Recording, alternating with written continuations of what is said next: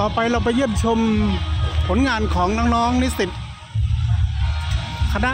วิทยาศาสตร์และเทคโนโลยีกันดีกว่าครับว่าน้องเขามีคอนเซปต์ในการสร้างผลงานยังไงนะครับ แล้วมีตัวแทนของน้องๆช่วยบรรยาย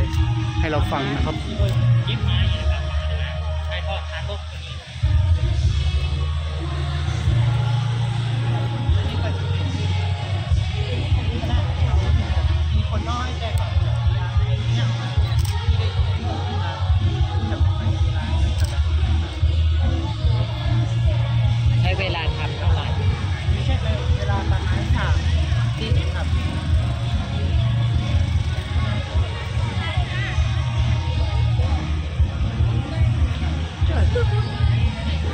ตอนนี้ตัวแทน